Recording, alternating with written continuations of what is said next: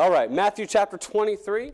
You know, I really don't, didn't want to break this up. I think it's uh, the whole chapter is sort of about one thing. So we're going to look at uh, hopefully the whole chapter tonight.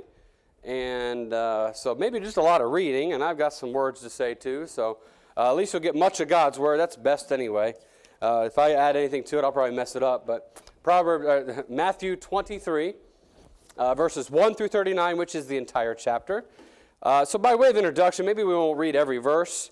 That'd be 39 verses. Nothing wrong with that. But we'll end up reading everything anyway, Lord willing, if everything goes as planned. So, Matthew 23 and uh, verses 1 through 39. So, let's just read maybe the first few verses or so. And there's some pretty good stuff right at the beginning as well. So, then he just leaves uh, where. Uh, uh, he's speaking to that, you know, the guy trying to trip him up, the, uh, the lawyer, and what's the greatest commandment? And he said, you know, love the Lord thy God with all thy heart, mind, and soul. Uh, and then he said, the second like to it, like thy, love thy neighbor as thyself. And then, uh, then of course, uh, well, whatever. So that, that's kind of where we came from. And then he gets into uh, kind of a different dissertation. He now then turns to, you know, the multitude and the disciples. So kind of finishes answering these questions to specific people. And the disciples are there and others are there, more than likely. But now he kind of just says in verse 1, here then spake, spake Jesus to the multitudes and to his disciples, saying, The scribes and Pharisees sit in Moses' seat. All therefore, uh, whatsoever they bid you observe, that, uh, that observe and do but do not ye after their works, for they say and do not. They're hypocrites. They say, but they don't do. They say, do this, do this, and they don't even do it. And they blind, excuse me, verse 4 For they bind heavy burdens and grievous to be borne, and lay them on men's shoulders, but they themselves will not move them with one of their fingers. Very, uh, we'll kind of stop there, but very telling of the Pharisees. And then it goes on through the entire chapter and just, again, speaks out more woes and more issues and problems and, and way they, the way the Pharisees are. Kind of, Jesus reveals really who they are in their core. So, Matthew 23, uh, here, the first few verses. Let's go ahead and have a word of prayer. Heavenly Father, would you help us, Lord, as we look into your word? May you guide us in all your thoughts, and may you lead us as we, uh, as we look into your word. May you give us illumination. May the Spirit of God uh, lead us into the truth of God's word. And we pray all of this in the name of Jesus. Amen. So here we see the woe to the religious hypocrite. So, really, what we have now, of course, this a Pharisee arguably is unsaved, non Christian, not even saved. Later on, he'll even describe that in, uh, in verse uh, I think, you know, further down. Uh, I think verse 4, verse 5, that kind of thing. I'm sorry, 4, 14 and 15. But, you know, woe to religious hypocrites because usually the ones well, not, not across the board, but in most cases, sometimes the people that cause problems are unsaved people that think they're converted, think they're saved, they're not even. And often those are the wolves in sheep's clothing or the wolves in shepherd's clothing. Uh, sometimes even the pastor can be a wolf in shepherd's clothing. And it's just not a real Christian. It's not genuine. Whether they are a result of an easy believism, or an easy prayerism type of thing to where they made a decision, but it wasn't genuine, it never was real, they never got the real deal. Uh, you know, some of these people, they act and sound saved, but they really are not, and they're hypocrites. But these people, uh, these Pharisees, uh, you know, the scribes even, Jesus is speaking of that. But the overwhelming principle, is if we, if we take through every single verse, every single woe that's given to them, is we must be genuine. We must be genuine. Now, some people in our church are way genuine and to, almost to a fault to where they just tell you what they're thinking, which I appreciate their genuine and upfrontness, but so it's not just so much as being real and genuine and just uh, very. Uh, uh, frank with people. That's one side of being genuine, but being genuinely sensitive to God, genuinely flexible to letting, letting God mold you and make you into the Christian He needs you to be. Not just being upfront and clear with people, but it goes beyond that and having the attributes of a true Christian. Uh, being one, being one, and then acting like a true Christian. So we must be real. The story is told of a zoo that was noted for their great collection on different animals. One day the gorilla died, and to keep up the appearance of a full range of animals, the zookeeper hired a man to wear a gorilla suit to fill in for that dead animal. It was his first day on the job, and the man didn't know how to act like a gorilla, uh, like a gorilla very well. And as he tried to move uh, inconvincingly, he got too close to the wall in the, of the enclosure and tripped and fell into the lion exhibit. He began to scream, convinced his life was over, until the lion spoke to him, "Be quiet, or you're going to get us both fired." So we ought to be real. You know, some of us have the, the, the suit of a Christian. We kind of look like one on the outside, but are you really a true believer on the inside? Did you put your faith and trust in Jesus Christ alone, not plus anything, no works of your own, but trusting, turning from God in repentance, from God to the Savior, asking God to forgive you of all your sin, asking Him to come into your life and save you from your sin, give you a home in heaven, uh, locked from hell for all eternity? Do you have the free gift of eternal life? I mean, I'm really, uh, you know, want us to have that desire, and we ought to see that, we ought to have that desire for others, that they're truly converted, truly saved people. Number one, we ought to be genuine toward Christian works. If you look at verses 1 through 12, it kind of marks the works of a Christian, how Christians or believers should truly act. It starts out in verse 2 as he speaks to the multitude and his disciples, as in verse 1 teaches. Then in verse 2, it talks about these people uh, sitting in Moses' seat. Now, we could go into the idea of Moses' seat. I don't want to necessarily go into that, but rather the fact that they sit in places of prominence. You know what I really appreciate, really appreciate about my Bible college is you could sit with professors at lunchtime. It wasn't that you know the, the presidents and the professors were over here eating kind of separate from the students, but you could eat with the president of the college. You could eat with your Bible professors, your Greek teachers. You could eat with all these people. It didn't. It did, there was no dichotomy among religious leaders, but often in false religion that's the case, where you can't get to the Pope. You well, you know, you can't even shake his hand. I mean, you have secret. You have uh, his security surround you, and you know, what are you doing, buddy? You know, he's got like his personal security, and that the what is that Pope wagon he drives around in.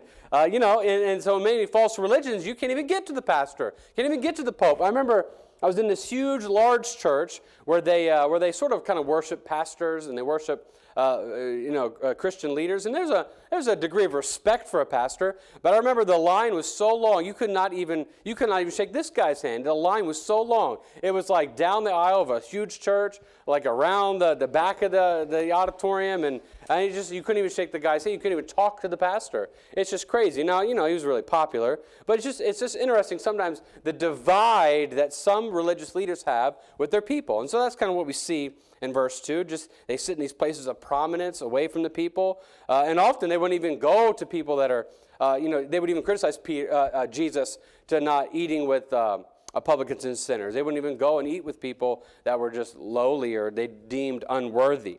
So be genuine toward Christian works. We ought to work for God. Work for the night is coming. Work through the morning hours. Work while the dew is sparkling. Work mid springing flowers. Work when the day grows brighter. Work when the, in the glowing sun. Work for the night is coming. Work when man's, uh, when man's work is done. We ought to work. We ought to work. You know, verse 3 is uh, they will require all these works. And then in verse 4, they will require all these heavy burdens and grievous things, and they wouldn't even lift a finger in verse 4. That is false religion. Do, do, do. I'm not really going to do it. I'm not going to help you do it. I'm not even going to, I'm going to even be hypocritical. And it, there's a degree of hypocrisy in this. They do, uh, they require you to do, and they do not, Jesus said, which is ultimately who they were in their character, and yet they won't even lift a finger. You know, we ought to sincerely be his disciple. So likewise, whosoever he be of you that forsaketh not all that he hath, he cannot be my disciple. When we come to Jesus Christ and we want to be a disciple, student of Jesus Christ, we come with nothing of our own. We don't come with a pretense to sit in a high seat. We don't come with a pretense to order people around to do, do, do, and to do not. And we don't, uh, we don't even uh, come into a position of we won't lift a finger. And some Christians have that mindset I won't even lift a finger. We forsake all of that and follow God. We serve Him sincerely follow the Bible. You know, it's interesting in verse 3, if you look at that one more time, uh, all therefore whatsoever they bid you, observe. So Jesus is saying, really what they're saying isn't all, all, that bad. They, you know, arguably they're saying some right stuff out of the Bible. For you to obey, you ought to observe my word. So he's not really criticizing what they're saying necessarily, was, but, but, but rather the hypocriticalness of how they position themselves. That they were asking them to observe God's word, yet they were not even willing to observe God's word. And if you remember, they would require so much things for the Sabbath, yet they didn't honor the Sabbath properly, and they would look for loopholes and ways around uh, doing work on the Sabbath. And they would even be against healing on the Sabbath, which God never necessarily intended to be, but they added that to the Sabbath. We ought to sincerely help people in the Christian life. We ought to invest in other people, Galatians 5.14. We ought to offer help where it's needed, Matthew 24.40. Seek wisdom in Proverbs 16.16. 16. Uh, practice hospitality, Hebrews 13.2. Show forgiveness, Mark 11.25. And worship God, not men, in Galatians 5.24. But But now we look at verse 5. Some more things about working for God and uh, doing good works in, in the Christian life. But look at verse 5. We ought to sincerely dress for God. Look at verse 5. But all their works they do for to be seen of men. They make broad their phylacteries and enlarge the borders of their garments. And they did that to be seen of men. Now, on the surface, it might be say, well, you know, God told them to have phylacteries, and uh, which was little boxes that contained uh, parts of the, the, the, law, the Mosaic law, and uh, you know they were to have that, but they were making it bigger and they were parading it, and uh, it's almost like writing the Ten Commandments on your chest as a T-shirt or something. Well, I guess that isn't arguably all that bad, but just kind of shoving it in people's faces, being proud of what you, I mean, being proud of uh, I guess, uh, your clothing or enlarging the borders so people can see that you're oh, following God. I'm enlarging my, my garments. I'm not only have the right garments as God's required, but I'm making them bigger and I'm showing you my phylacteries and they're just making it very visible. And so we ought to sincerely dress for God. What is it, what is it for the New Testament Christian? Well, for women, God talks about modesty. Like manner also, that women adorn themselves in modest apparel.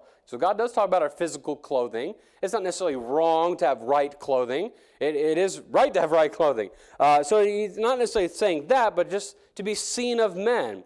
All their works they do for, to, for to be seen of men. And the next thing is mentioned is their clothing. So we don't uh, necessarily wear what we wear to be seen of men. We want to kind of fit in. In a sense, uh, look like an average man. We don't want to look like we're wearing tons of money. We don't want to draw attention to ourselves or we're wearing rags. But just that happy medium that I'm modest, that I'm not bringing attention to oneself. And then in 1 Corinthians 10.31, whether therefore you eat or drink or whatsoever you do, do all the glory of God. I dress for the glory of God. I do it for God's glory, not to be seen of men in verse 5. Look at verse 6. We had to sincerely dress for God. And then verse 6, it uh, talks about uh, you know, how we should follow God. If you look at uh, verse 6, it says, And love the uppermost rooms at feast, and the chief seats at the synagogues, and greetings in the markets to be called, uh, to be called of men, Rabbi, Rabbi. But be not uh, ye called Rabbi, for one is your master, even Christ, and all ye are brethren. See, we follow God. See, they were so concerned of their other Pharisee friends and their other religious friends that they wanted to hear them say certain titles. They wanted to hear uh, doctor, doctor, rabbi, rabbi, teacher, teacher. They wanted that title and position. And when we serve God, it's not about a title and position. It's not about the limelight. It's, it's often, often, most of our Christian life is what's not seen. And, uh, you know, you see a lot on Sundays, but that's not what my Christian life is about. If you think that Dave Wilt is only Dave Wilt on Sunday and that's what you see me as, that's, that's just a part of my life. That's just one small part. The public image. We ought to be unhypocritical and following God, not just in the public eye, but in private as well. I ought to have that private life that supports my public life and vice versa. So we sincerely follow God. See, they wanted to be heard of men and seen of men and respected of men. But he said, why call each other master and rabbi? There's only one master. There's only one Lord. And it's Jesus Christ, even Christ. And all your brethren, your brothers, and you're putting positions among each other. Look at verse 10. We ought to sincerely be humble. Look at verse 10. Neither be ye called masters, for one is your master, even Christ. But he that is greatest among you shall be your servant. Whosoever shall exalt himself shall be abased. He that shall humble himself shall be exalted. God said, I'm not looking for the most prideful guy. That was a sin of Satan. I'm not looking for uh, one that'll just be a master of everybody, but a servant of all. We, we support biblical servant leadership. I'm the most humble person in the world, and I wrote a book about it. Yeah, right. Uh, you, you, just said you weren't humble if you, if you, if you had that position. I, I wrote a book on humility because I know all that there is about the humility. I got the corner on the knowledge of humility. No, you're just now pushing your knowledge forward. You become prideful. James 4 6. But he giveth more grace, wherefore he saith, God resisteth the proud, but giveth grace unto the humble. I need grace. Good I don't deserve. I need tons of it, Zach. I need, I need, I need God's grace. God resisteth the proud, but gives grace to the humble. We ought to be humble. Don't think you're um, better than you are. Just think, of, think about how God thinks about you. You're a sinner, saved by grace. As such were some of you. So we ought to be genuine toward Christian works. Number two, we ought to be genuine towards Christian salvation. Look at verse 13. But woe unto you, scribes and Pharisees, hypocrites, for you shut up the kingdom of heaven against men, for you neither go in yourselves, neither suffer ye them that are entering to go in. Not only are they not saved, and they've not entered in the kingdom of, uh, of heaven, they, have not accepted Jesus uh, and, and the Messiah to come. They even often rejected literally the Messiah that was before their eyes, but they even stopped people from going in believing in the Messiah. They, they kept people away. How many hundreds, if maybe even thousands, did they keep from accepting the Messiah during his lifetime? How many times did maybe the Pharisees bring people with them? We know that often if there's a leader, a religious person, will then bring people under that, and no doubt that was happening. And Jesus said it was happening, that he, they're, they're shutting the gate uh, or the uh, uh, shutting people from entering in and, and being saved, arguably. So verse, uh, verse 13 shows us we ought to be genuine and real when it comes to Christian salvation. Be real and authentic. The Queen of Sheba came to visit Solomon one day she put him to the test. She brought artificial flowers to perfectly, it's a make believe story, but it's a good, good truth, okay? So, so, so to speak, and he brought artificial flowers, so perfectly formed that no human eye could detect them from the real flowers. She put them in a vase on Solomon's table in, on, in his throne room next to his flowers. She, and as he came in, the queen of Sheba is reported to have said, Solomon, you are the wisest man in the world. Tell me without touching these flowers, which are the real and which are artificial. It is said that Solomon studied the flowers for a long time and spoke nothing until finally he said, Open the windows and let the bees come in. See, there's a ways to tell the artificial from the real. Let the bees come in, and they will know where the real is. If we live with the authentic Jesus long enough, we will recognize the artificial when we see it. Let's, let's know when there's artificial and when we are being artificial. Let's be real, let's be genuine, and let's bring people to the Savior and not keep them from the Savior. Number one, we ought to soul win not soul destroy. Look at verse 13 again. The whole idea here that we see is they're not saved to begin with, and they're even stopping people from going in. If I'm in the flesh, I'm not positioned properly spiritually to allow people to be saved. I'm inadvertently pushing people away from that. Now, by by accident, sometimes I can make I can get around that, but uh, God uses a crooked stick maybe to, to, to, to make a straight line. But we ought to soul win, not soul destroy. We ought, not to keep people from getting saved because of our behavior, our flesh, our attitude in that moment. Or, uh, oh man, I thought you said you were a Christian. I can't believe you just said that, did that, thought that, acted this way, did this action. How many times has that been said to us? At all, maybe? But either way, we ought to soul win, not soul destroy. Verse 14. Woe unto you, scribes and Pharisees, hypocrites, for ye devour widows' houses, and for a pretense make long prayers, a prayer Therefore, ye shall receive the greater damnation. We ought to love God, not money. Now, if you weren't careful to study this and look into it, uh, what would happen here is uh, they would devour widow houses by going in and offering prayers or offering assistance for rich widows uh, most, uh, most often. It could have been any widow for their property. And even as they were nearing older age, they would even try to weasel in and have, have their, uh, their houses uh, benefited to the synagogue or to their Pharisaic sect and then would just be donated after their death, or that they would be the surviving uh, male. And, and often they would mani- manipulate the whole situation and pray, uh, you know, pray for the widow. And all of it was done very hypocritically, very money motivated. And if you were to look into what it's speaking about, it was happening uh, among Phariseeism, that they would uh, kind of trick people into getting that money uh, for the synagogue which, are, which is astounding because it still happens today uh, among other false religions. This, this, happens. These older ladies think it's the truth, and yet it's lies and false religion. They donate everything they have uh, to a false religion that can't save anybody. But here, they love God and not money. These long prayers. The situation uh, thus described may have attained its end either by using the advantages which they possessed as the jurists and notaries of the time to press unjust claims against wealthy widows or to become their heirs. By leading devout women under the show of piety to bestow on them the, their estates and houses to minister to the maintenance of the scribe was, they taught the best use of wealth, the long prayer, refers probably to the well known 18 prayers which formed the standards of the Pharisees' devotion. And so there was even this thing that they had. It was like 18 prayers, and they'd provide prayers for widows or something like that. I was kind of looking into the history of that. It was very interesting. But either way about it, whatever it does exactly mean, they were manipulating widows for their income, for their money, is really what it is. We ought to love God, not money. It's all about God, not money. Number, th- number uh, three, lead someone to Christ, not to hell. Look at verse 15. Woe unto you, scribes and Pharisees, hypocrites! For you compass sea, or you pass the sea, and land to make one proselyte, and when he is made, you make him twofold more the child of hell than yourselves. Lead someone to Christ, not to hell. The zeal of the earlier Pharisee in history had showed itself in a propagandaism which remind us rather of the spread of religion of uh, Muhammad and that of, than, than that of Christ. John uh, the last of the Maccabean priest rulers, had offered the, uh, the idea that there was an alternative to death and exile and circumcision, and he would then uh, manipulate people into uh, believing in, uh, I guess, a, you know, a form of Judaism at the time.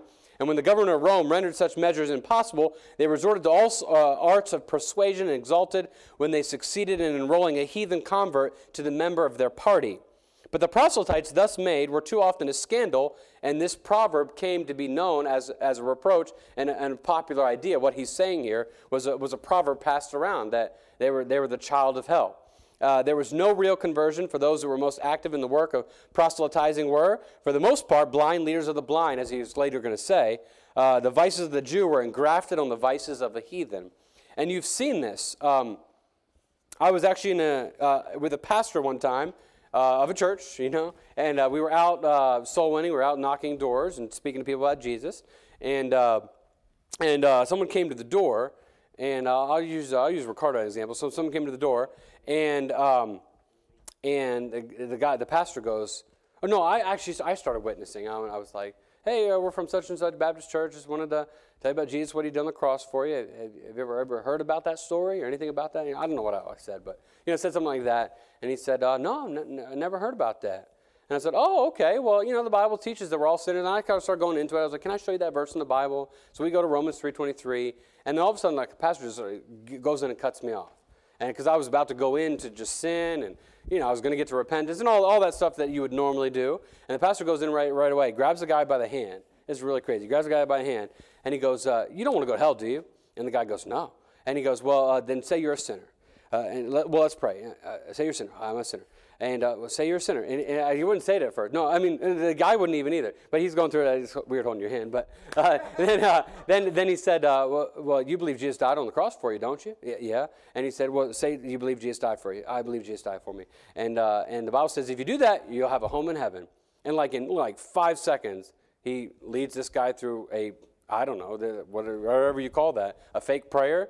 And he said, Now you're saved. And he, he goes, If you're to die right now, where'd you go? The guy, I, re- I remember distinctly what the guy did. He goes, I don't know. So, you know, sometimes we're so eager. Now, there's a whole thing called easy prayerism. I don't want to go into that tonight. But you have that happening sometimes to where people are so eager to soul win, so eager to, to win someone, and they get some people to repeat a prayer. Prayer doesn't save.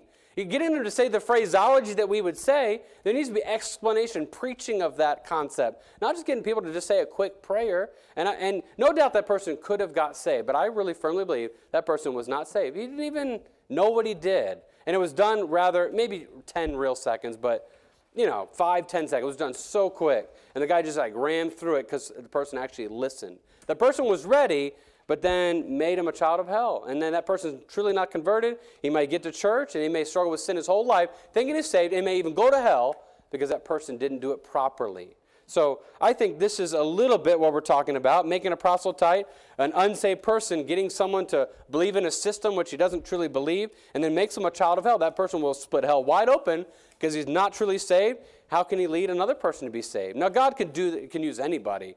Uh, you know, and God could use even a heathen to do that. Uh, he's not necessarily, he doesn't really do that. He could, he has the power to do it, but we ought to, we ought to, not do it that. We we ought to win souls and not, uh, not make ch- children of hell. Hey, guys, let's stop messing with the paper. We're rusting the paper. All right, now let's look at the next verse. All right.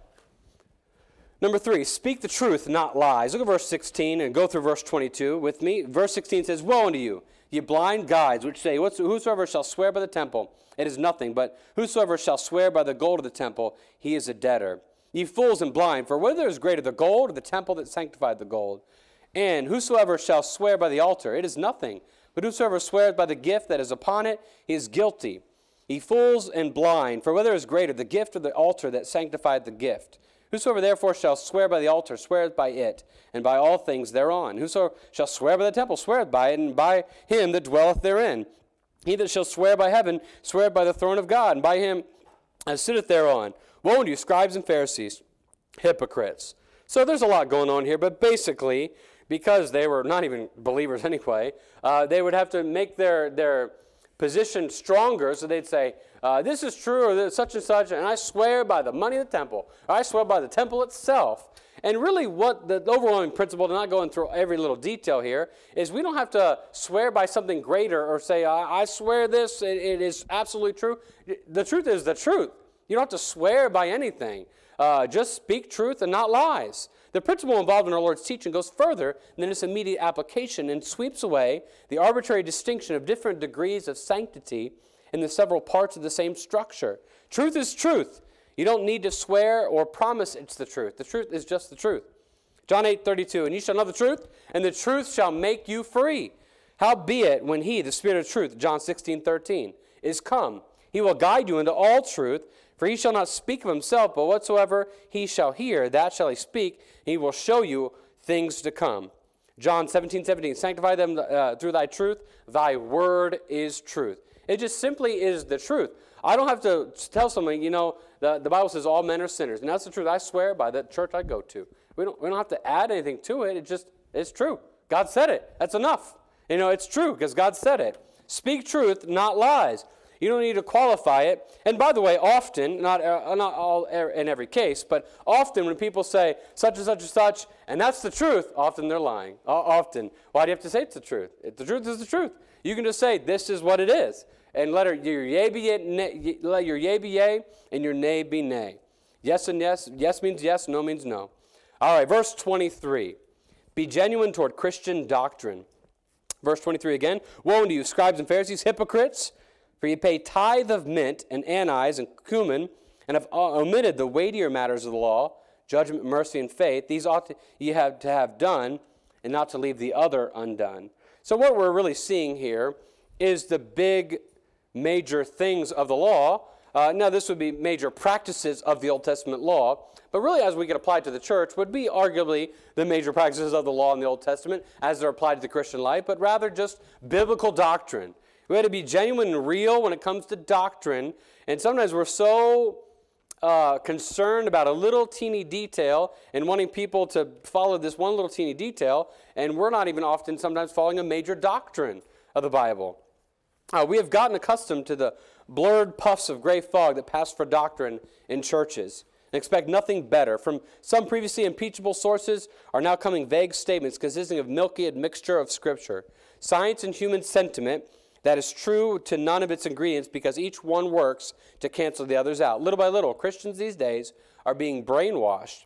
One evidence is the increasing numbers of them are become ashamed to be found unequivocally on the side of truth. They say they believe, but their beliefs have not have been so diluted as it is impossible to, of clear definition. Moral power has always accompanied definite beliefs. Now, this is a great sentence right here. Great saints have always been dogmatic. Great saints of the past, believers in the past that have stood for God and proved it by their lifetime till the day they died, have always been dogmatic when it comes to truth, the truth of the Bible.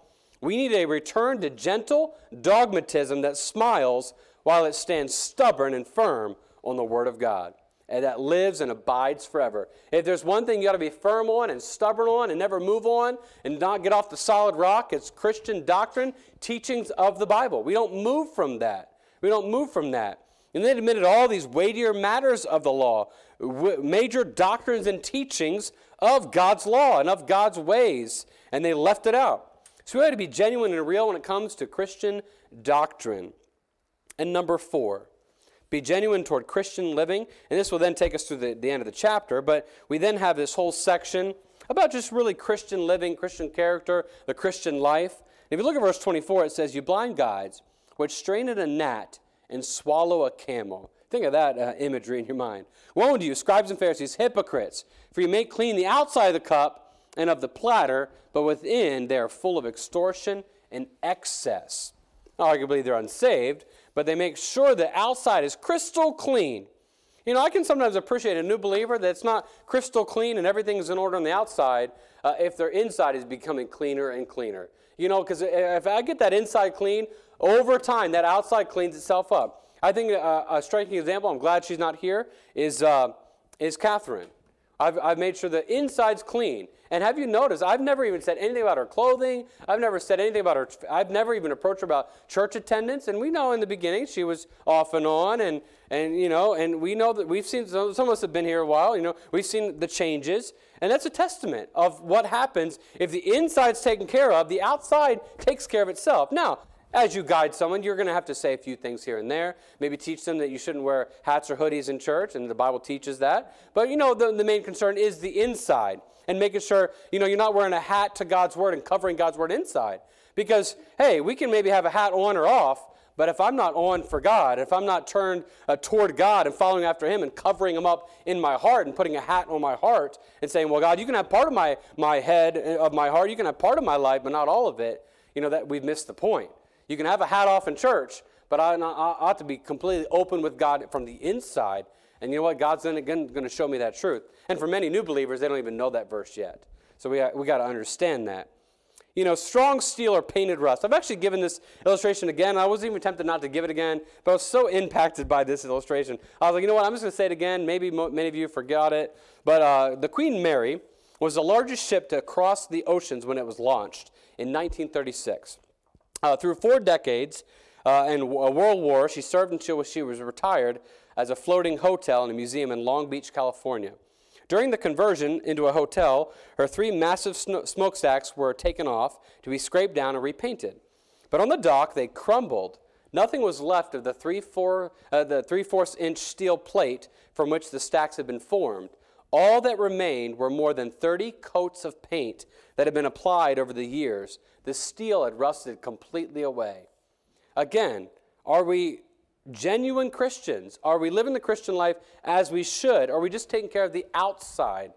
As a Christian, I ought to care about the inside, what I think about, what I uh, am entertained with and, and gets into my thinking how I'm reading my Bible and letting God speak to me, how I'm silently praying to Him, how I worship God, how I truly love God in my heart. I have a true desire to follow Him. Not that I'm a, it's a forced desire. Not often as, as a mature believer, I may force it at times, but in a general sense, I have a desire for God. I'm desiring to follow Him and be devoted to Him and be, uh, be close to Him and, and drawing close to Him. But are you just, just kind of coats of paint? Oh, there's a, there's a messed up area, let me just paint it again. May God show us that we're not steel like we think we are, that we're just coats of paint. You can fool God. I mean, you can't fool God. I totally messed it up. You can't fool God. You can fool the hapless public. You can be a subtle fraud. You can hide your little meanness, but you can't fool God. You can advertise your virtues. You can, sell, uh, you can self-achievement laud. You can load yourself with riches, but you can't fool God. You can criticize the Bible. You can be a selfish clod. You can lie, swear, drink, and gamble, but you can't fool God.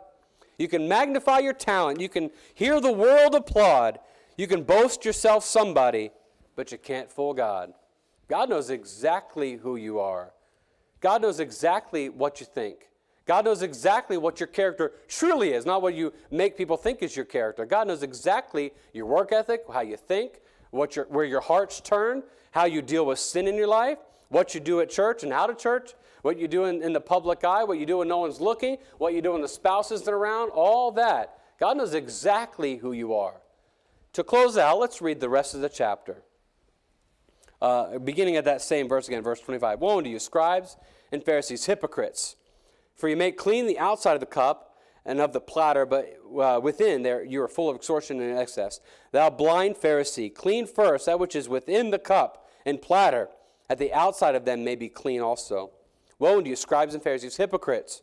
For you are like unto whited sepulchres, which indeed appear beautiful outward, but are within full of dead men's bones, and of all uncleanness. Even so, ye also outwardly appear righteous unto men, but within you are full of hypocrisy and iniquity. Woe unto you, scribes and Pharisees, hypocrites, because you build the tombs of the prophets and garnish the sepulchres of the righteous. And say, if we had been in the days of our fathers, we would have not been partakers with them in the blood of the prophets, whereof, wherefore ye be witnesses unto yourselves that ye are the children of them which killed the prophets. Whoa. Uh, fill ye up then the measure of your fathers, ye serpents, ye generation of vipers, how can ye escape the damnation of hell? Wherefore, behold, I send you uh, prof- uh, I, I send unto you prophets and wise men and scribes, and some of them ye shall kill and crucify, and some of them shall you scourge in your synagogues, and persecute them from city to city. They, that upon you may come all the righteous blood uh, uh, shed upon the earth, from the blood of the righteous Abel and the blood of Zacharias, son of uh, Barachias, whom you slew between the temple and altar. Verily I say unto you, all these things shall come upon this generation. O Jerusalem, Jerusalem. Now we see the heart of God here. Thou that killest the prophets and stonest them which are sent unto thee, how often would I have gathered thy children together, even as the hen gathereth her chicks under her wings, and ye would not. One of the most beautiful, tender pictures that God could have ever used. And he just, he just ripped them upside and down. Uh, he just used very harsh language. But then he says, You know, but I love you guys. I would have gathered you. I want to forgive you of all that sin. I want to make you right with God. I want to be the, your Messiah. I would gather you, but you would not. Behold, your house is left unto you desolate. For I say unto you, you shall not see me henceforth till you sh- shall say, Blessed is he that cometh in the name of the Lord. An amazing uh, end of the chapter. But what's our Christian life like? We, we got it all faked. We got it all kind of set up as an outside that people can see. And yet, you know, when no one's around, we're a completely different person. We think differently, talk differently, act differently. Let's not be hypocrites. That's what a lost religious Pharisees were like. That's what uh, scribes were like. That's, and that's what we had, very harsh language at. And by the way, if you are like that, this whole chapter is for you. This is your chapter. God, Jesus Christ thinks this about you if you're a hypocrite. How many times did he say, You hypocrites, you hypocrites, you hypocrites, you actors, you actors, you actors? That's what hypocrite means. A play actor, one that knows his part, one that can act. You actors, boy, you're acting very good. You're acting, you're faking it really good. You're fake, you're fake, you're fake. Is he saying that about, is he saying that about you tonight? Let's have a word of prayer. Heavenly Father, Lord, would you help us to not be fake Christians? Help us to not be uh, hypocritical Christians. I pray, Lord, you'd help us to be genuine, real Christians that have a real relationship with you, Lord. If you whisper something to our ear, may we be so quick to listen to it. Are we ready to hear you, Lord? Do we have the world so turned up that we can't hear you? Lord, do we have uh, all the entertainment of the world so focused on our vision and mindset and heart that we, don't even, we can't even hear your still small voice. Lord, help us not be hypocritical. I pray, Lord, you'd help us tonight. And, I, and I pray this, Lord, that you would help us to make, take care of business tonight. I don't want to ask for a raise of hands. Everyone would be too embarrassed to raise their hand. But Lord, may we, know, may we do what it takes to go back tonight. And if you spoke to us on any area of our life, would we, would we be quick to take care of that and get it right with you? Lord, we thank you for it, Lord. In Jesus' name. Amen.